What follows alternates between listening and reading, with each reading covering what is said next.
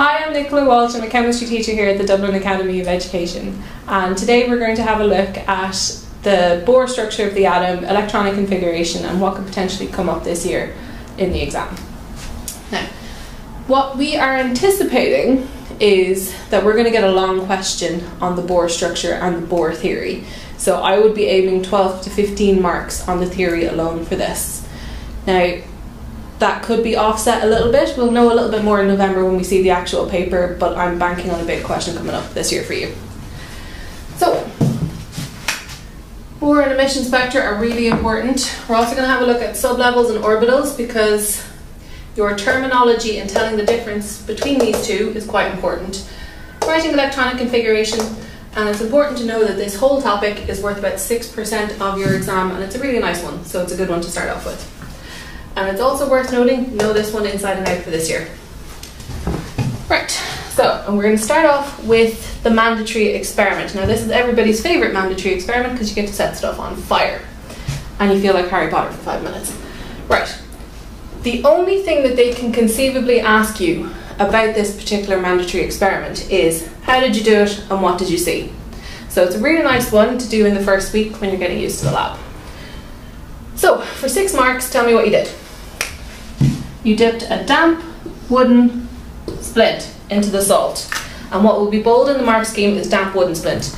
It's damp because when you stick the wooden splint in the Bunsen burner, you don't want the splint to catch fire. You only want to see the salt combust. Now, then you hold the damp wooden splint in the blue flame of a Bunsen burner, and you need to specify blue flame. If you don't, if you just say stick it in the flame of a Bunsen burner, you can't have it in the orange flame because you can't see the colours that are produced. As you can see from the results table, sodium burns with a yellow flame. If you put sodium in the yellow flame of a Bunsen burner, you're not going to know is that sodium or is it the Bunsen burner.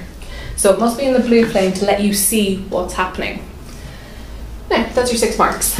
The results, now, these you just have to learn. On your notes, I've left a nice handy little box at the bottom of page 6 for you to come up with some sort of an acronym to remember this.